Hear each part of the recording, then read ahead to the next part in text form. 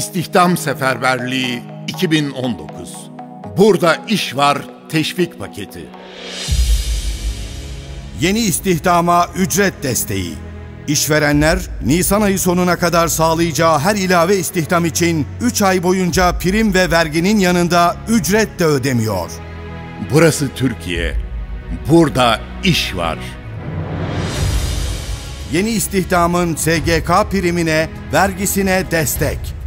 İşverenler Aralık 2020'ye kadar her yeni istihdam için 12 ay süresince SGK primlerini ve vergilerini ödemiyor. Kadın, genç ve engelli istihdamındaysa bu destek 18 ay. İmalat ve bilişim sektöründeki istihdamlardaysa daha yüksek tutarlarda prim desteği var. Burası Türkiye. Burada iş var. Kısa çalışma ödeneği. İş yerinde çalışma sürelerini geçici olarak azaltmak durumunda kalan işverenlere 3 ay boyunca azaltılan süreye ilişkin çalışanlarının ücreti devletten.